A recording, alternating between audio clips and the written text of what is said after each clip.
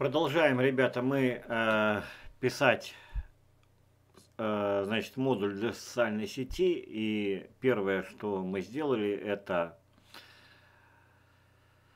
э, создадим аккаунт, или это может называться личный кабинет.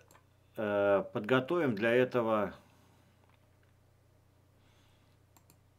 э, э подготовим все для этого. Э, первое, что мы сделали, создали приложение, потом, может было и не надо так уже подробно разбирать, но разобрал подробно.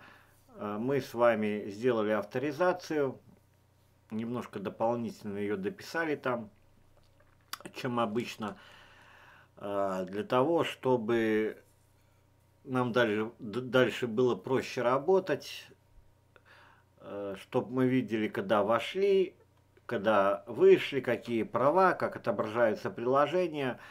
И отобразили это все на HTML странице. В общем, получилось целых 15 уроков спокойного, э, спокойного, спокой, 15 спокойных уроков.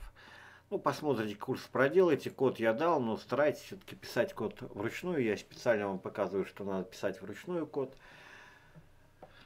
Вот, не копируйте. Ну, а тот, кто начал с этого курса,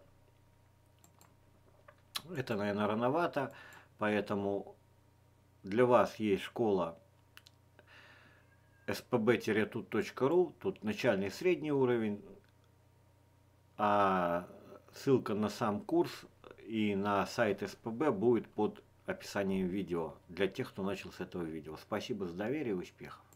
Все получится.